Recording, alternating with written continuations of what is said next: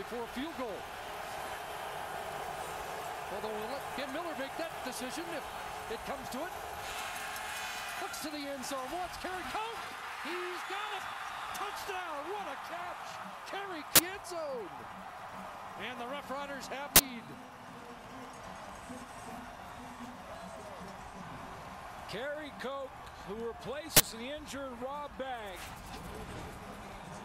has just made play after play down the stretch. And this offense has not missed a beat. What a catch in the end zone. Ken Miller told us when first one.